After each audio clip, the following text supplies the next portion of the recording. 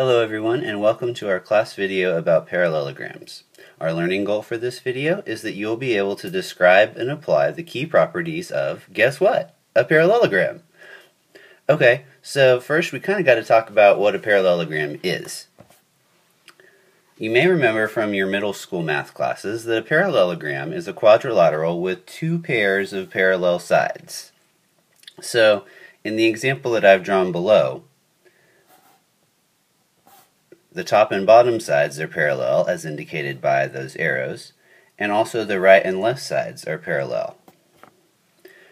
When that happens, when we have two pairs of parallel sides, that automatically creates a lot of very interesting properties. So let's take a look at those. For example, the opposite angles of a parallelogram are always congruent. This is because we're creating, essentially with parallel lines, alternate interior and corresponding angles in a lot of locations. We'll look at it more in depth in class, but this would causes angle B and angle D to be congruent, and also angle A and angle C to be congruent. They're on opposite sides of the parallelogram, and they are congruent. Notice that B and D are both acute and A and C are both obtuse. Also, the consecutive angles of a parallelogram are always supplementary.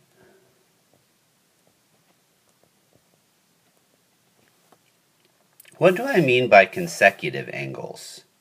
The word consecutive means next in order. So, for example, angle B and angle C are consecutive angles. Using our parallel lines terminology, however, we also know that angles B and C are same side interior angles. This causes them to be supplementary.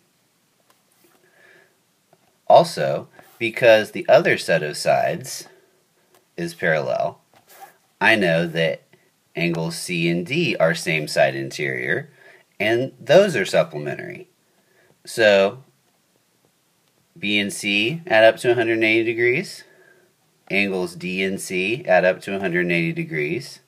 Angles A and D add up to 180 degrees. And angles A and B add up to 180 degrees. Okay? So the angles that are next in order in the parallelogram are supplementary. Alright, let's look at some properties about segments and sides. Our third property of a parallelogram is that opposite sides of a parallelogram are congruent. That is to say that side AB and side CD are congruent, and side BC and side AD are congruent. Why is this? Well, whenever those sides are parallel, if I draw in this diagonal, diagonal DB, I create two congruent triangles. We could show using one of our triangle congruence theorems, such as angle side angle, that those two triangles are congruent. That would cause the sides AB and CD and AD and BC to have to be congruent. We'll look at that also more in detail during class. Finally, our last property is that di the diagonals of a parallelogram bisect each other. Okay, so let's draw in those two diagonals, diagonal BD and diagonal AC. If they bisect each other, that means they cut each other in half. That's the meaning of the word bisect. So AC is cut in half by BD, and BD is cut in half by AC. There, that diagonal has been bisected. This can also be shown using congruent triangles because I have a congruent triangle up here to this one down here or you could also use the other pair. But because those triangles are congruent, we know that the diagonals bisect each other. Again, we'll look at that in more detail during class. So, using those properties, let's try some example problems. Now, I will preface by saying that it is impossible for me to put in every different kind of parallelogram example problem into this video. That would make the video way too long.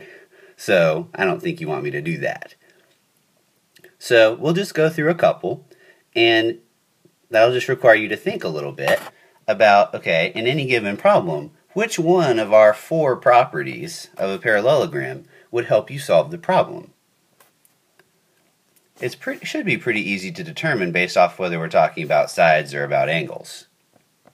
Okay, well, we're looking at angles in this problem, so we'll probably use some of our properties about angles. Hmm. Ah, so if opposite angles of a parallelogram are congruent, I know that angle Z must be congruent to 120 degrees. Oops. All right, that was easy. Additionally, I can use the fact that I know that the opposite sides of the parallelogram are parallel. This creates alternate interior angles. So, because of that, my angle y here is congruent to the, th the 35 because it's an alternate interior angle. So y is 35 degrees. How could I figure out the measure of angle x? Well, we do have two triangles in the picture, and the measure of angles in a triangle add up to 180 degrees. If that's the case, then I know that the measure of x is 25 degrees, so that the measure of 25 and 120 and 35 makes 180. This would also require that this angle be 25 degrees because they're alternate interior, so that that triangle could add up to 180 degrees. There, we've found the measures of x, y, and z. Let's look at one more example problem. In example 2, we're asked to find the measure of angle n, which is up here. Hmm. Well, given that there's x's in the picture, I imagine we probably need to find the value of x. Not always the case, but let's go for it. What do I know about angles L and M? Hmm. I know that they are same side interior angles. They're also consecutive angles, which we know to be supplementary. If they're supplementary, we know that they have to add up to 180 degrees. I can use that to write my equation. So I can say that 5x plus 18 plus 4x minus 9 equals 180 degrees. There. Combining like terms, I would say that 9x plus 9 equals 180. Subtract 9 from both sides, and I would have 9x equals 171. If I divide both sides by 9, that would lead me to conclude that x is equal to 19. Have I answered the question yet? Not yet. I haven't found the measure of angle n. So, hmm, angle n, I know because all opposite angles of a parallelogram are congruent, that that one is going to be congruent to angle L. So, I should figure out what the measure of angle L is. So, 5 times 19 plus 18 would give me 113 degrees. Therefore, I also know that angle N is 113 degrees. I can check by plugging into angle M, which would come out to be 67 degrees. This verifies that I did my equation correctly because 113 and 67 do add up to 180 degrees. And similarly, angle O is 67.